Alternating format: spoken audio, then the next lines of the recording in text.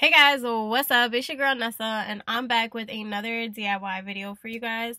Today, I'm going to be showing you guys how to do these nails.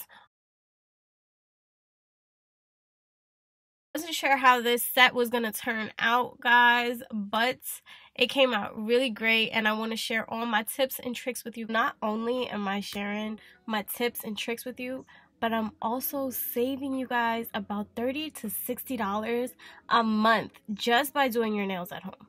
Okay?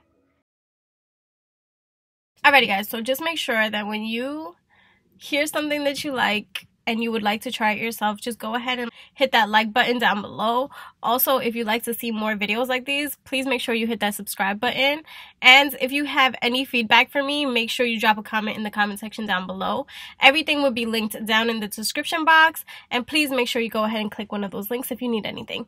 Alrighty? Alright guys, so right here, I'm just showing you guys the tools that I am using. I am using my mason jar filled with all of my tools. I got my my clipper in here. I have my cuticle pusher in here. I have my brushes, my nail files, my everything. I'm using a pack of nails. I'm going to list it down below. I am using this base gel coat. I'm using this powdered gel. It's in black.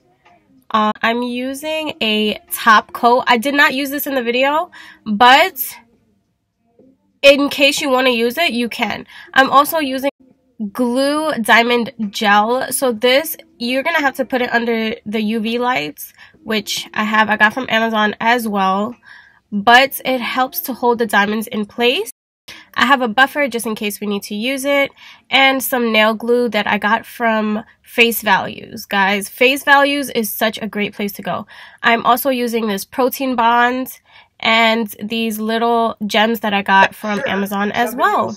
This is my cuticle remover. Got this on Amazon as well. And my UV gel light.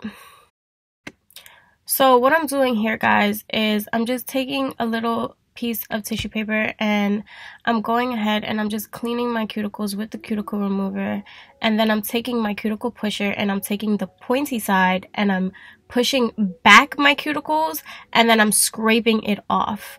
So the pusher part doesn't really come in handy, but sometimes it does help in case you have like excess cuticles that you just want to remove. But I then take the clippers and I clip it all away and everything is good. It looks good after that. Before we get the nails started, guys, I went ahead and I just buffed the top of my nails. You could do this with a buffer or you could do it with a nail file. I like to use a nail file because I get more precision, I guess, with it. But it it's it's so much better for me. So what happens is the glue needs a nice base to stick on. So we we're gonna need to file our nails down in order to get like a nice surface so it could stay. So now guys, like they do at the nail salon, I'm just gonna go ahead and find the perfect size nails for my nail. Okay, so there was some times in the nail part that I kind of just um I wanted to take out the nails but it was a little too late, and I was like, you know what? I'm the queen of fixing it. You guys know I'm the queen of fixing it. So anyway, I was like, whatever.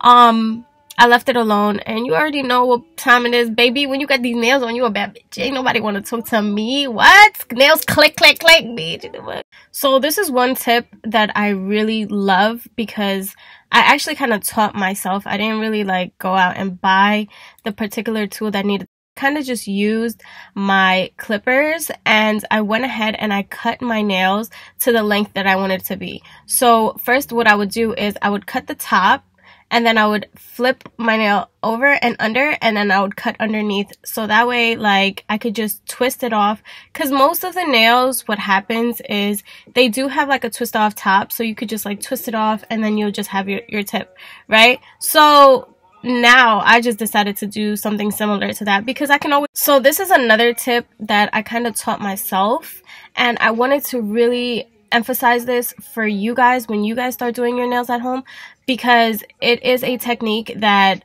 I haven't done before, and I'll give you a review on how it is after. But file your nail down when you put it on. So the fake tip has to be equivalent to your nails. So that way it stays just a little longer. So right here, I decided to use Protein Bond. I kind of used the wrong one. I was supposed to use the Nail Dehydrator, but Protein Bond works the same anyway. It really doesn't matter. It's just going to protect your nail. Then you guys all know how this goes. We take the base coat, we put it on our nails, we dip our nails in the powder, and then we continue the process. So what I did here was I used a brush. So what I did was I did my first set of dips and then I brushed it off when everything was completely dry. And then I went ahead and did another coat because that way your glue brush will not get a lot of gel powder. Do you understand where I'm coming from? Like it won't be clumpy and lumpy and you won't have to clean it all the time. I did about four coats of powder and I think it's great when you do your nails at home because you know how you would like your nails done. So if you want that extra top coat sis, put that extra. So guys, I really think this part is the most necessary part. File your nails. Okay, so what I'm doing here is I'm just filing it down so it's nice and smooth. What I'm doing is I'm taking a small nail file and I'm just going around the edges to kind of get like a nice smooth edge around the nails.